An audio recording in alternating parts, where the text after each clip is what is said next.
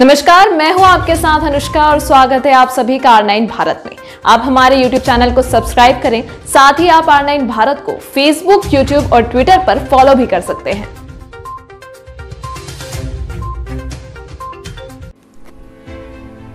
मासूम बेटी को गोद में लेकर इंसाफ के लिए दर दर भटक रही माँ।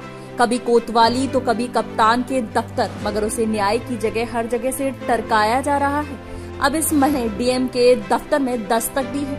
आपको पता चले इस शहर के मोहल्ला थरबर जंग में रहने वाली इरम ने बताया कि वह अपने माँ बाप की इकलौती थी और उसकी शादी कुछ साल पहले अलीगढ़ में हो गई थी। यहाँ ज़मीन जायदाद को उसके चचेरे भाई संभालते थे। उसके पिता का इंतकाल तो पहले ही हो गया था और इसी अप्रैल में कोरोना महामारी ने उसकी माँ को भी निकल लिया।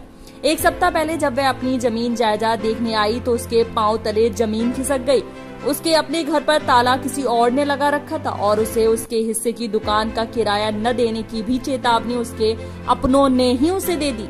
तीन दिन पहले रिश्तेदारी में इसी को लेकर पंचायत हुई थी, लेकिन कोई हल नहीं निकला, जिसके बाद इरम दर दर न्याय के लिए भटक रही है। मसला ये है कि मेरा नाम इरम इजलाल है। मैं मोहल्ला थरबरनगंज में, यहाँ मेरा मायका है। मेरी शादी हो चुकी है, मैं बाहर रहती हूँ। अभी मैं अपने घर आई थी। छः मेरी अम्मी का इंतकाल, मेरी अम्मी जो मेरे साथ रहती थी, हमारा कोई भाई बहन नहीं है। तो अभी जब मैं अपने घर आई थी तो हमने देखा कि हमारे घर पे ताला लगा हुआ है, जो कि हमारे चचेरे भाइयों ने फिरोज़ कमाल और परवेज़ कमाल ने लगाया है। जब हमने उनसे बात की तो वो हमारे साथ मारपीट करने लगे। हम कोतवाली में गए।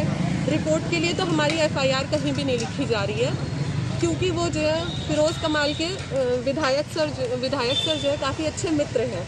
अभी उन्होंने कल कोतवाल सर ने कहा कि ठीक है, आप कल आइएगा और मैं आपका जो है सॉर्ट आउट करूँगा।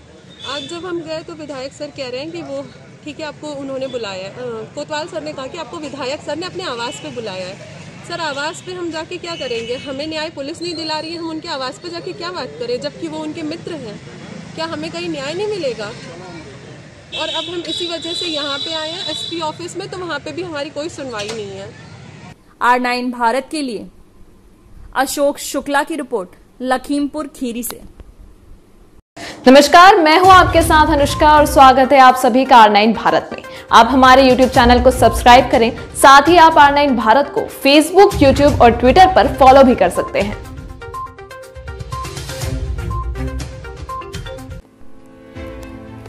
चित्रकूट शिक्षा के स्तर में सुधार लाएँ शिक्षक नहीं तो मैं करूँगा कार्यवाही डीएम ग्राम पंचायत बंधुइन जिलाधिकारी शुभ्रांत कुमार शुक्ला ने आज प्राथमिक विद्यालय बंधुइन भाग एक व भाग दो का औचक निरीक्षण कर पठन पाठन का जायजा लिया। उन्होंने प्राथमिक विद्यालय भाग दो के निरीक्षण में विद्यालय की साफ़ सफ़ाई की व्यवस्था सही नहीं पाए जाने पर कुछ बच्चों के पास ड्रेस नहीं थी।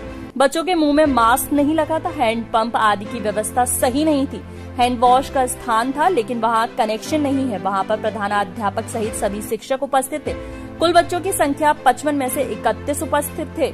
जिलाधिकारी ने बच्चों से पठन पाठन की जानकारी की, जिसमें बच्चों द्वारा सही उत्तर न देने पर शिक्षकों को निर्देश दिए गए कि शैक्षणिक गुणवत्ता में सुधार करें तथा विद्यालय की अच्छी तरह से साफ़ सफ़ाई व्यवस्था कराई जाए।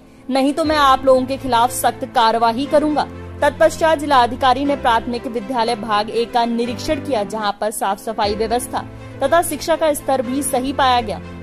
सभी शिक्षक उपस्थित पाए गए। 105 पंजीकृत बच्चों में से चौसठ बच्चे उपस्थित पाए गए। विद्यालय की एक दीवार पर सीलन पाए जाने पर जिलाधिकारी ने ग्राम प्रधान श्री श्याम सिंह को निर्देश दिए कि तत्काल इसको ठीक कराया जाए। उन्होंने विद्यालय के स्मार्ट क्लास में पहुंचकर बच्चों से प्रोजेक्टर के माध्यम से हो रही पढ़ाई की जानकारी की, जिसमें बच्चों ने सवाल का सही जवाब दिया। उन्होंने शिक्षकों से कहा कि शिक्षा के स्तर को और बढ़ाया जाए। आर नाइन भारत के लिए कृष्ण कुमार मिश्रा की रिपोर्ट, चित्रकूट से।